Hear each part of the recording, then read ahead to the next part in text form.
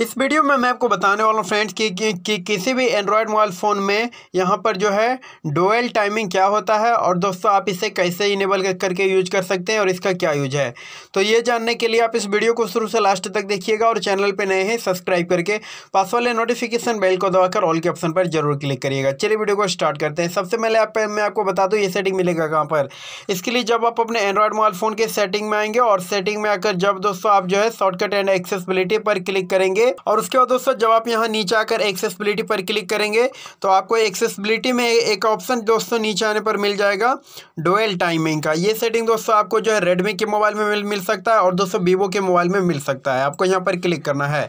अब दोस्तों देखिए, अगर आप यहाँ पर क्लिक करके इस सेटिंग को इनेबल कर देंगे तो दोस्तों आप यहाँ से ये सेट कर सकते हैं कि दोस्तों आपके माउस का एक्शन जो है कितने देर में होना चाहिए, या फिर दोस्तों कि, या फिर दोस्तों कितना जल्दी होना चाहिए। अगर दोस्तों आप, अगर आप टाइम ज़्यादा करना चाहते हैं तो आप यहाँ से इसको जो है ज़्यादा कर देंगे। तो इससे क्या होगा दोस्तों कि अगर आप मोबाइल को माउस से यूज़ करेंगे और माउस से क्लिक करेंगे तो यहाँ पर आपका सेटिंग जो है थोड़ा लेट से ओपन होगा।